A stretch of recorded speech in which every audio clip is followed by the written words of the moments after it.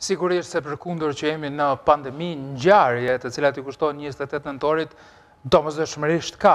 Të organizuara në këtë formë, në mënyra të ndryshme të cilat i përshtaten epokës në cilën jetojmë, atë të pandemisë. Po megjithatë, po mbahen dhe po përkujtohen Patjetër, gjithë këto festa të rëndësishme për kombin tonë, sikurse është njëzet e tetë nëntori.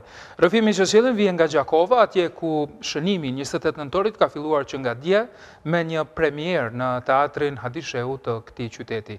Domosdoshmërisht edhe gjatë ditës sotme ka pasur ngjarje e aktivitete, një koncert me masa shtrënguese për shkak të pandemisë dhe gjithsesi ngjarje të tjera që nderojnë personalitetet që dhanë kontribut përgjatë historisë veçanërisht dëshmorët.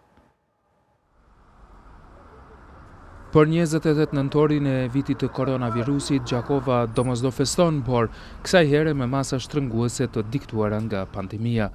Drejtoresha për Kulturë në Komunën e Gjakovës, Saranda Hyseni, njofton për aktivitetet që mbahen për nder të festës së njëzet e tetë nëntorit, duke bërë thirrje për respektim të masave të vendosura nga institucionet e vendit. Dita qendrore njëzet e tetë nëntori po fillojmë në ora dymbëdhjetë e lëshojmë në funksion Galerinë e Arteve në qytet me një jo vetëm që do të lëshohet si objekt, por do të jetë një ekspozitë gjithëpërfshirëse gjithëpërfshirëse e artistëve tanë që do të marrin pjesë në pikturë, skulpturë e të tjera. Kurse në ora gjashtëmbëdhjetë kemi edhe festivalin tashmë tradicional folklorik në Odën e Malësisë së Gjakovës. Gjithashtu ju bëj thirrje gjithë qytetarëve që t'i zbatojnë me përpikmëri rregullat, përndryshe ne nuk mund të mbajmë eventet.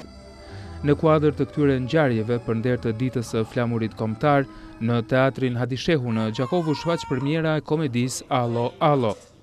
Shfaqja me regji të Ilir Bokshit, e cila u prit mirë nga të pranishmit, filloi në orën gjashtëmbëdhjetë e tridhjetë, krejt pazakonshëm për këtë teatër. Po kalojmë në një situatë të palakmushme dhe është dashtë me bo në këto rrethana, do të thotë është historikisht hera e parë që po japim premierë në ora katër e tridhjetë, për shkak të rrethanave dhe kushteve se duhet të mbyllet përpara orarit të kufizun të lëvizjes. Për komedinë Allo Allo foli aktori Bujar Ahmeti, Pasi përmendi momentet e mira të përgatitjes për shfaqjen, listoi edhe telashet që patën gjatë realizimit të saj. Ka qenë shumë ftoft, duhet me e thonë këta, sepse po jetojmë në një kohë shumë moderne dhe duhet patjetër me pas një zgjidhje.